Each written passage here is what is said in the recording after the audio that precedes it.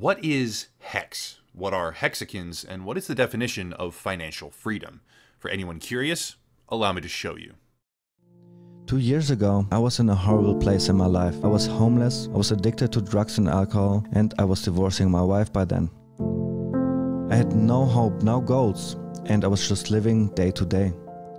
Then I found out about Richard, and he helped me so much with his self help books and videos that it changed my life completely.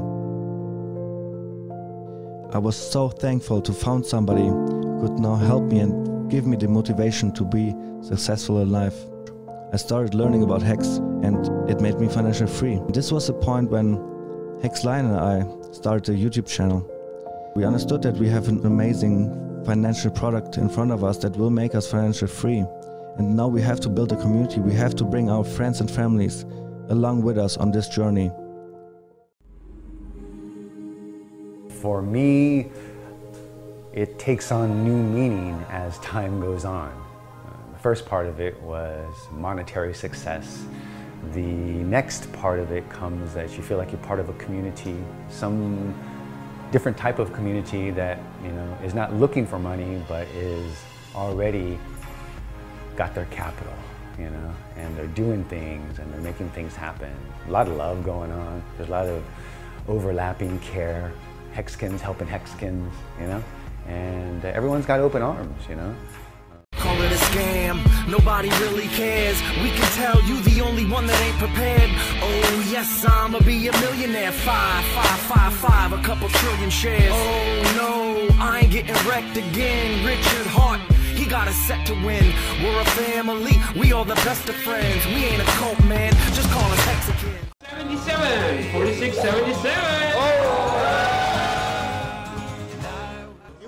5,000 hex. Your, your future is pretty much set. You don't have to work ever again in your life. I did the calculation for my friend, right? And I staked out 5,000 hex for my friend for 10 years. And I did the calculation, bro, you're a millionaire already. Long story short, Hex is a cult.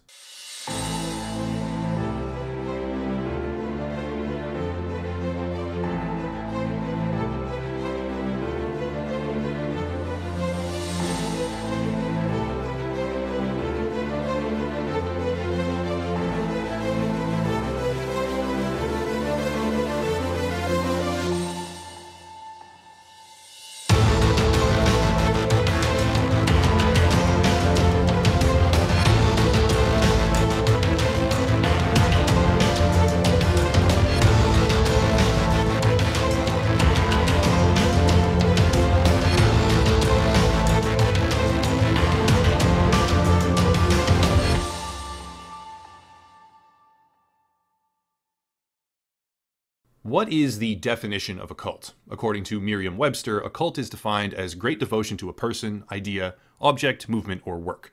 Often connected to the concept of ritualized sacrifice, cults are typically built around some sort of charismatic figure and held together with strict religious control. In 1968, for example, created by David Berg, a group now known as the Family International was formed, where hippies and unchurched youth were taken in, sheltered, and provided for inside isolated communes. According to anyone inside the cult at the time, David Berg was simply the iconoclastic founder of a non traditional Christian movement. However, as years went by, escaped members and others familiar who were able to break free began to reveal that the Family International, also previously known as the Children of God, was a viper's nest of sexual or financial abuse, exploitation, and trauma. Focusing on the concept of recruitment, David Berg instructed, or rather inspired, his followers to share this dogma around the world with over 260 million people across 100 different nations. Boasting membership in the tens of thousands, the Children of God remains, to this very day, an example of cult allegiance and zealous devotion centered on a charismatic leader. Now, what does this have to do with Hex, you may ask? Well, let's find out. Hex is a crypto token, but not just a crypto token, a mechanism of financial freedom. Hex Token is designed from the ground up to create wealth, but what if I told you that all it does, all it has ever done, and all it will ever do, forever into the future, is destroy?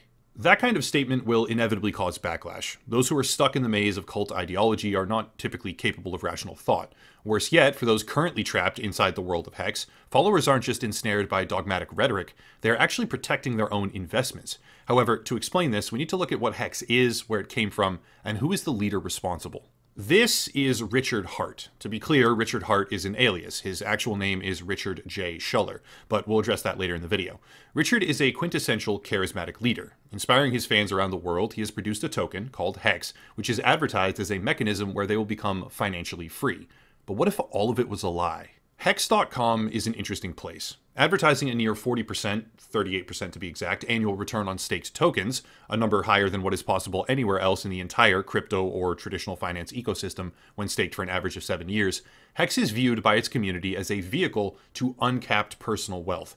I won't focus too heavily on technical aspects of the smart contract or devolve into frivolous details, but the gist of it is that Hex allows people to buy, stake, and earn interest by holding the token. Staking is a critical thing to understand here because staking is a mechanism by which users will lock their tokens behind a certain time limit. Upon entering the Hex ecosystem, you are highly incentivized, even pushed, is the word I would use, into the world of staking, because the more you stake and the longer you agree to have it locked away, the more interest you will earn as a result. Hex as a token is highly inflationary. More of it is generated every single time that tokens are unstaked, and when the marketing, branding, and advertising for Hex is built around the idea that you will someday be rich, it means that users have a hard coded expectation of return. That's important because expectation of return is something that Richard Heart seems very keen to avoid. Self-help. Well, how many how many hex have you sold personally? Uh, if you look publicly, it looks like zero, but I can't tell you because Howey test, right? So you've never sold any hex and taken any cash? You just have all the hex. let's let's go over the rumors. Let's go over the rumors. You used to be able to I'm not- I'm transform. not I'm just asking I'm, you a I'm answering your question with more words if you relax. I can't tell you about Well, my it's a yes or finances because question. test. I can't tell you about my no. finances The because Howey test has expectation of value based on what I do. No, if you think the value is going to No, go up or down based on what I asking- do, it's an expectation. I don't give people No, no, no. You're, the Howey test has to do with work effort that you are expending on your part. If you simply Right. tell people how That's many work. of your own, no, but Yes, uh, giving people assumptions admit- about your future behavior is forward-looking No, no, statement I'm is ask- fucking not- bog standard I'm not asking you what you're going to do in the future. I'm just saying, have you sold any of the hacks that you created and gotten cash for it, or some other cryptocurrency? You know, it's just a yes or no question. You're not violating the No. Howey rule by by telling me. Here are some of the many examples of Hex marketing used to drive further adoption and increase token value by onboarding fresh users. Subway screens, taxis, bus banners, trucks, magazines, even NASCAR sponsorships, and direct mail marketing postcards sent out all across the country from California to Florida. All of this specifically designed to broaden the public awareness of Hex and fuel increased demand. For some, that may seem innocent or uninteresting. They see these types of ads every single day, so why does it matter? But when building a foundation, the knowledge that Hex as a community has spent an incredibly large amount of money on acquiring fresh users is very important. Let's focus once again on the idea of expected return. Richard Heart, with extreme precision, I might add, plays a series of semantic games whenever he discusses Hex, the community, or potential returns. Similar to his unwillingness to engage in forward looking statements or discuss expected returns, or even just say whether or not he has sold any Hex tokens ever, we can see an equally obvious effort to redefine existing tax law. I another question. Why did you choose to let, if, you think Bitcoin sucks so much, why Mm-hmm. are you letting people collect hex Hmm. by snapshotting their Mm-hmm. Bitcoin private keys as Uh, opposed to their Ethereum keys? colloquially I- called an airdrop. the reason that I don't like the airdrop term, yep. airdrop means someone else gave you something. Mhm. I can't possibly give you anything. Only you can give yourself something by having these private keys. I can't give it to you. And when you end your when you when you stake your coins and burn the coins, I can't stop you from doing it. And when you No, mint your reward, I can't I can't there's nothing I can do to affect it. I have no fucking effect or control over it whatsoever. There's The, the nothing can complaint is. I'm just the complaint is going to call it an airdrop. So Well, the reason I don't want to call it an airdrop is because the United States, you're fucking taxed on your airdrops, aren't you? Right? no, And you're taxed on your forks, aren't you? And wouldn't it be cool if this wasn't an airdrop and a fork, right? And then in your jurisdiction, you might have preferential tax treatment. Yeah, they're going to call it an airdrop. Well, And just adding I can only do the best I can do, man. I, I know, I can but I can look, I you- can you try to can't fucking make a better thing, and then they can try and make it worse. You can't semantically, by adding one little function or claim it's one thing and not another, uh, rewrite the laws. That That is- people have tried to do this for not true. thousands of years. right. Have been trying to get away with modifying or getting around the You are laws. making and, and you think analogy. that you're. You're, you think that you're somehow the, the most creative guy in the world because you're I'm not not. going to call it an airdrop because you say, oh, That's- oh, well, you have to plug an address in and you actually have to push work, so it's not an airdrop. Funnily enough, in every single publication, article, and reference out there, the initial free claim process has been universally recognized as an airdrop. Richard Heart is trying to game the system. It's not an airdrop, therefore it might have favorable tax implications. It's not an investment because no one has an expectation of return, even though everyone has an expectation of return. And subsequent airdrops aren't ICOs, initial coin offerings, because you don't buy it, you sacrifice for it. He continues to play these games in a deliberate effort to avoid regulation day in and day out. Expanding on this, we need to talk about what sacrificing actually is, because sacrificing is the life's blood of Richard Heart's empire. Traditional ICO sales are relatively straightforward. Buy the token, hope that the token increases in price, and later sell the token. This kind of offering is certainly prone to abuse, with early investors often dumping their seed tokens or holdings on future investors after high initial gains, but sacrificing is a league of its own. Hex was not launched with traditional mechanisms. Rather than only allowing people to purchase the token directly, which also was possible, thereby expecting to get rich, Hex was also given to everyone so long as they established proof of ownership in Bitcoin. In conjunction with this, Hex often broadcasts their number of wallets holding the token as a metric to be proud of. Big user base, high interest, strong project, or at least something like that, I think, is the thought process. It says right on their homepage 515,000 wallets hold Hex. However, it turns out that over 170,000 of these addresses were given minuscule amounts of hex in order to drastically inflate the supposed user base, which even now is over one third of the entire community. But at launch, it was barely 200,000 wallets, according to the oldest archive I could find, which means that initially, something like 85% of their token holders in entirety were fake.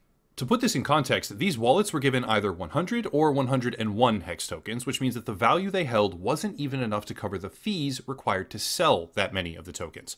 Most people probably didn't even know it was in their wallet in the first place. Funnily enough, I ran into this a long time ago in a completely different project. So, yeah, a lot of threads tying back together.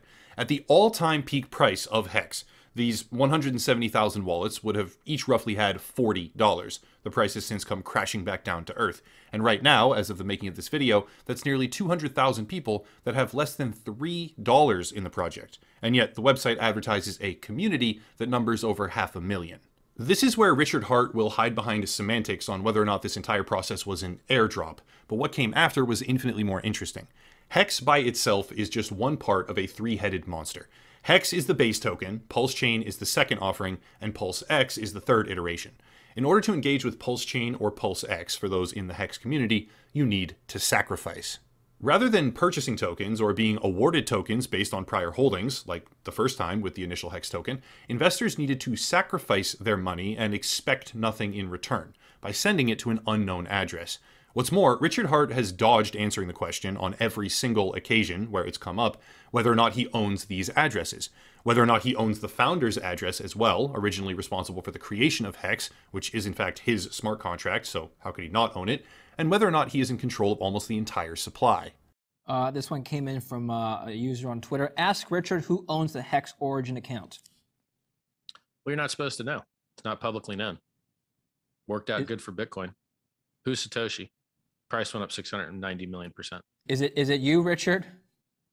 Nobody knows. Not publicly known. Way. Who controls these? Nobody knows. Just like Satoshi. Who's Satoshi? Nobody knows. Did he ever So- dump the price? oh, nope. But but somebody would have instructed the Origin wallet to send to these daughter wallets. So How do you know it's even a human? Maybe it's a DAO with voting. Maybe it's a machine. Maybe it's a foundation. Maybe it's an African priest. Who knows? Here's the problem sacrificing is intended to circumvent regulation. Hex and further ventures like Pulse Chain and Pulse X are purpose built to avoid existing legal structures, but the process itself, where money is sacrificed, had a leaderboard. When sacrificing with a supposed lack of expected return, even though everyone expected a return here, there was a volume bonus multiplier where the more you sacrificed, the more you got back. This completely shatters the idea that users were not expecting anything back because every single one of them got something in return with a predefined rule set dictating how much while being financially incentivized to sacrifice more and more and more. Even further, Richard Heart himself might have been the largest participant in these sacrifices, while refusing to ever acknowledge whether or not he owns the wallets. Still, why does it matter? It matters because Hex does not have underlying economic activity to generate value. The entire purpose of the smart contract is to mint inflationary tokens and distribute them to users who have locked theirs away. The longer you agree to lock your money, the more you get back. However, for Hex tokens to maintain value under the immutable pressure of constant inflationary minting, there needs to be fresh capital entering the system. In fact, in order for Hex to maintain its relative value right now, there will need to be hundreds of millions of dollars injected every single year, like clockwork, otherwise the token will crash. This is important because a huge percentage of people who have been absorbed by the cult are currently sitting on their hands with locked tokens. Now, that could be fine temporarily or in the short term, because as long as the number of people injecting fresh capital surpasses the number of people trying to cash out, the price goes up. Basic logic. But as soon as the number of people coming out of lockup surpasses the number of people buying in, well, this happens. The cold hard truth here is that without the flashy marketing campaigns, the constant onboarding of fresh users who don't know any better, and the restrictive lockup timeframes to keep the public from cashing out, the price of Hex would crater to zero and never come back. Richard Heart has exerted great effort to avoid the technical classification of a Ponzi scheme. However, if you look at the reality of what Hex is and how it functions, you'll see that an asset was given to users through an obfuscated airdrop, who then unilaterally expected to get rich. Many of those users were convinced to lock up their funds for a set reward, which will temporarily stave off the inevitable collapse in price, but eventually inflow of new users to absorb inflation and unlocked selling will fall below a certain threshold, and the entire system will implode. According to community analysis, nearly all of the top 500 wallets that hold Hex right now are directly associated with Richard Heart himself. And while I cannot make a claim with absolute certainty on this, backtracking the origin wallets and the original funding addresses lends a great deal of confidence to the notion that Richard Heart is in full control of over three quarters of the entire Hex supply. This is a very strange thing because Richard Heart has gone on record with public animosity towards Bitcoin on the basis that an unknown party controls a great deal of supply. Meanwhile, he refuses in all circumstances to acknowledge who owns the origin address of Hex, the sacrifice addresses for Pulse Chain and Pulse X, which contain hundreds and hundreds of millions of dollars each, while a strong possibility remains that he owns nearly nine tenths of all circulating Hex tokens. Dude, let me give you let me give you some more bullshit, okay?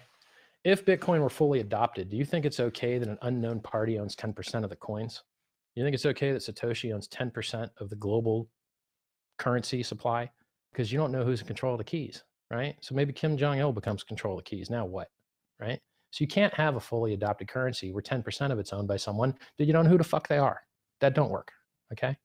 All of this raises questions, to be sure, but how is it that I can label this community a cult? Well, for starters, how about this?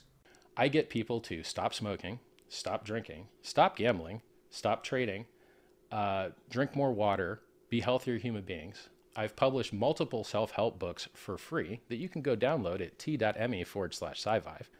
I have received thousands of emails from people whose lives I have saved. I've also raised 27 million dollaronis for medical research to save your life.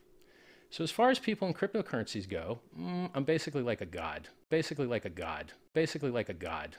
Hex is led by an enigmatic, deliberately secretive, and charismatic leader. That leader also very likely owns the vast majority of all tokens. This leader has referred to himself as a god on more than one occasion and distributes funds to his followers by way of sacrifice. While doing so, he uses strong religious themes, evangelical rhetoric, and his followers travel the country in groups attempting to convert new users. One example of this is called the 5555 tour, which indicates the maximum number of days that Hex can be locked in the system, which saw community members traveling thousands of miles to hold seminars, rewarding prospective new cult members with lottery opportunities, and reeling them in with promises of massive returns. This effort was designed to pump the price of Hex to $7, but faced with unrelenting downward pressure as a result of inflation and community selling, the price never even crossed 50 cents. Everyone who came on board, everyone who invested during the most prominent marketing cycle that the token has ever seen, everyone who succumbed to the pressure of the cult is now down massively and effectively stuck, forced to push the cult's message to anyone who will listen, desperately hoping to find an exit. In preparation for this video, I spoke with a number of different sources, one of which was actually present during this national tour, and another who has been involved with Hex since the very beginning. I was also allowed to verify this with private documents and wallet addresses, giving me a high degree of confidence that these whistleblowers are a reputable source of information. According to some of the earliest, most vocal supporters of Hex as a token, who self identify as having escaped the cult, Richard Heart has led them into a system where it is extremely difficult to break free. Early adopters are forced to wait until there is enough liquidity before they can even turn a profit, which means they are faced with only two options. Either help perpetuate the growth of the cult, and thereby allow themselves an exit strategy, maybe, which may in fact be highly profitable as well, or go against the community and likely lose everything. One potential source, who was most likely very familiar with the inner workings of Hex, flat out refused to speak to me, citing that they had a substantial sacrifice bag that they did not want to see damaged as a result of exposing the cult's inner workings. It was, quote, the only reason he stayed in the community, because the reality behind Hex is extremely troubling. Early adopting whales are the very first people to unlock their tokens, generally speaking. What do they do? Well, with more circulating theoretical value of Hex than could ever possibly be redeemed for actual cash, they are forced to perpetuate the revolving door of user adoption and take turns selling into these new customers as they create liquidity. The new customers, they are typically convinced to lock their investment for a set period of time, waiting helplessly as the liquidity dries up completely and the value of their investment craters as a result. All the while, more and more tokens are entering circulation, building up a massive glut in the market that realistically can never be redeemed. When will this overextension unwind? I'm not sure, but when it does, well, that's when people lose everything. Still, all of this so far pertains to Hex directly and the systems behind it, but there is one more thing integral to the prosperity of any cult following, and that is its leader. Richard Heart, also known as Richard Schueler, has a lengthy history before his creation of Hex, some of which is cause for concern. Richard Heart's own website refers to him as a force for good in this world, yet his fortune, millions of dollars from a very young age, was built on an empire of spam. Quote, My name is Richard Schueler. I'm a 23 year old multimillionaire, and I'm inviting you to learn how to spam millions of people per day like I do. I used to work for USAprescriptions.com, and now I operate my own online pharmacy business, which is Hacker, IRS, and Anti Spammer Untouchable, and is the single largest spam email marketing company in the world today. End quote. What's more, according to some very early conversations that were actually leaked between Richard Heart and a man named Jonathan Sterling before the Hex token even launched, I believe, Richard Heart was stating that he would soon be truthful about his identity, and yet, years later, after multiple sacrificial funding rounds that very much seemed to connect back to him personally, that still isn't the case. Even deeper, there appear to be multiple passports of his under false names from multiple separate countries. Out of respect, I won't share these publicly, but they are allegedly part of a broader conspiracy in which contract murder took place, leading to Richard Heart eventually fleeing the country of Panama with an urgent cry for help to the Panama American Citizen Services. Once again, even further, established by a lawsuit in 2002, Richard Heart, or rather his actual identity, Richard Schueler, was one of the very first people in the world to be successfully sued for online spam, indicating that he may be extremely familiar with emerging unregulated industries or technologies and may have, historically speaking, used that lack of regulation to take advantage of people with unethical and predatory business tactics. Richard Heart previously sold anti aging cures, among other ventures, landing himself the title of Spam King. And after finding himself on what seems to be the receiving end of a robbery in Panama, perhaps as a result of the criminal ring he may or may not have been associated with, where accusations of alleged activity include extortion, blackmail, and robbery, he seems to have fled the country and moved on to crypto. The cult of Hex is a complicated creature, created by a man who has referred to himself on more than one occasion as God, designed to dodge the legal structure of securities and taxation policy, formed around the concept of sacrifice rather than investment, and reinforcing participation by locking members inside as long as humanly possible. Hex is a brilliantly constructed financial cult, with members who will stop at nothing to help it succeed. This video could be four hours long. While researching and discussing with sources, I was made aware of an instance that strongly points towards $26 million being siphoned out of a sacrificial address and put directly back into manipulating the market price of Hex itself. I learned about a prior token created by Richard Heart called CFD, which utterly failed, with much of the evidence deleted or pulled down. I was given countless clips where the development structure of the project changed, from an Ethereum fork to a Binance fork, or a nearly insurmountable number of examples where the project has been delayed. Week after week, month after month, soon perhaps year after year, because it seems that the project, or products rather, don't actually exist. But for the sake of time, I'll wrap it up with this. Hex influencers, many of the largest whales responsible for the most aggressive marketing maneuvers, contributing to the rise of the token price during the initial pump, such as the 5555 tour, where they travel the country looking for new investors, have been subpoenaed by the SEC. Regulators are starting to take notice, and just because a project has avoided the technical wording of a Ponzi scheme right now with new technology, or a multi level marketing scam, doesn't mean that it's functionally different. For the people stuck inside, it's a prison, and I feel for you. But pushing this project on others in a desperate attempt to dig yourself out of such a hole is not an ethical thing to do. Eventually, the number of people joining the cult will be smaller than the number of people trying to leave. That seems to be the case already. And when that balance is too far disrupted, it all comes crashing down. For right now, Hex remains, some sort of twisted financial cult hybrid that continues to find fresh victims each and every day. Its community displays great devotion, not only to Richard Heart, a charismatic quasi religious authority figure, but also to the idea of financial freedom. From every direction, every angle, and every perspective, I believe that Hex fulfills all existing criteria as an actual, legitimate cult of worship. Only instead of divine power, they worship at the altar of Richard Heart and crypto. However, when that finally changes, and change it will, the fallout will be extreme. That's it. If you want to support, please check out the links down below, Patreon and Locals for a monthly subscription, merch, social media, etc., etc. But I'll cut it there and stop rambling. As always, thank you all for watching, and have a nice night. Mm, I'm basically like a god.